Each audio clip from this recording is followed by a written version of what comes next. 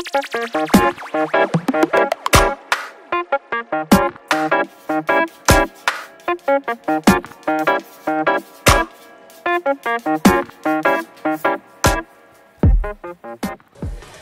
guys, that's Justina from Justina Smile Photography. Today I'll talk about shutter speed. So what actually happens when you press a camera button? The shutter of the camera opens, the light streams in, and after some time the shutter closes down. But why shutter speed is so important? So during the time your shutter is open, things might move around in front of your camera. So basically, the longer those things are moving around, or the faster they're moving around, the more motion blur you will see in the picture. If you're not sure about this, let's do one example. So take your camera and put it on the shutter speed priority mode, which is usually marked as letter S. Then simply put your shutter speed, let's say on 1000. Uh, in other words, 1 over 1000. After you do that, simply take your camera, spin around and take a few pictures. What probably you're gonna see is sharp, nice pictures, um, depending of course where you're standing. If you're inside, they might be a bit dark. Um, if you're outside, probably you'll see uh, pretty nice, sharp pictures. What happens if you change the shutter speed to, let's say, 1 over 2, which is just a half of a second? So after you do that, repeat the action. Just turn around and take a few snaps.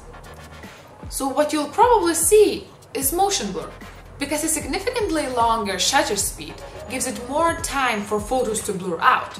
So the longer your shutter speed is, the more motion you'll see. One more thing which is important to understand, that when you use a short shutter speed, it actually also adds some emotion into the picture because it captures more details. What I mean by that, imagine a marathon runner. You take a short shutter speed picture, the marathon runner will be sharp, all the details will be there, it will be more tense and powerful picture. But otherwise, imagine now a picture, the same marathon runner, right? And imagine now if you take a picture half of the second. So probably the runner will be totally smooth and, and silky and it's gonna be not about him but maybe about action itself. So you could probably see how different emotions of the picture could be just by simply adjusting the shutter speed. So probably most known example of using a long shutter speed is in night photography. For that we usually use a tripod and let's say we use 15 second shutter speed. So it means that in 15 seconds, all the light which is in front of the camera will be shown in the picture. That's why it's perfect for star photography, light painting, and any night photography scapes. So your next step is to experiment. Just go out and shoot a bunch of moving objects. Take some pictures of your pets, of your children.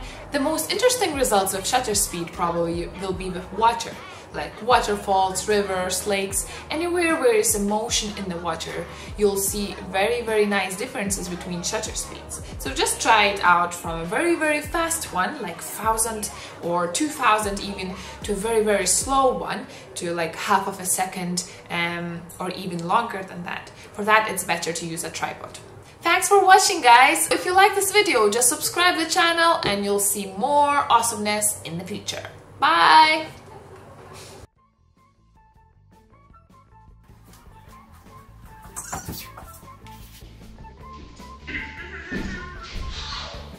It's better to use a tripod so you avoid the shaky hand effect. Shaky hand effect. what is shaky hand effect?